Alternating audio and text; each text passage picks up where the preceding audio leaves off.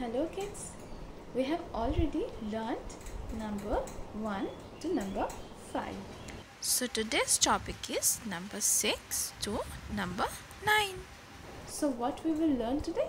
Today we will learn how to count number 6 to number 9 and how to write number 6 to number 9. Let's start. So for that, today I have brought something interesting for you. Do you want to see that? Okay, let's start. Now see children, what are these? Yes, these are ladybugs, right? You have learnt already that L for ladybug, right? So these all are ladybugs. These all are ladybugs. Can you see the black spots on the red ladybugs? Yes, I'm talking about these all black spots. So now I will count these black spots. I have four ladybugs. I have four ladybugs.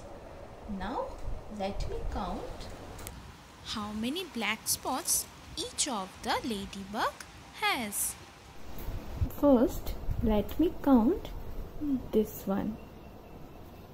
So, how many black spots this ladybug has? One, two, three, four, five, six. This ladybug has six black spots. So, let's spell six S I X. 6.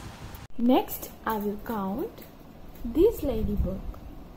This ladybug has one, two, three, four, five, six, seven black spots. This ladybug has seven black spots. So let's spell seven S E V E N. Seven. Next, I'll count this one. So, how many black spots this ladybug has? One, two, three, four, five, six, seven, eight. So, this ladybug has eight black spots. This ladybug has eight black spots. So, let's spell eight. E I G H T. So next I will count this one. So how many black spot can you see?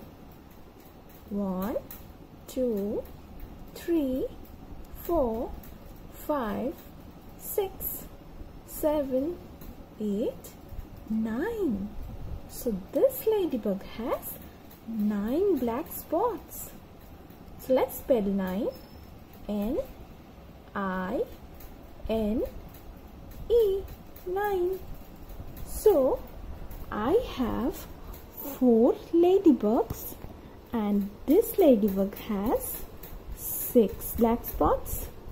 This ladybug has seven black spots. This ladybug has eight black spots and this ladybug has nine black spots. So 6, 7, 8 and 9. Now we will learn how to write number 6 to number 9. So first we will start with number 6. So how to write number 6? First we will make a right curve. It will join with a small left curve. A right curve will join a small left curve. A right curve will join a small left curve. So like this we can make number 6. And always you have to touch the below line. So next is number 7. So how to write number 7? One sleeping line and a slanting line makes number 7. One sleeping line and a slanting line makes number 7. Sleeping line and slanting line. Next is number 8. So how will we write number 8? First a right curve, then a left curve, again a right curve and a left curve. Yes, again I'm writing a right curve, then a left curve, then a right curve, again it will join with the left curve. Right curve, left curve, right curve and a left curve. This is how you can make number 8.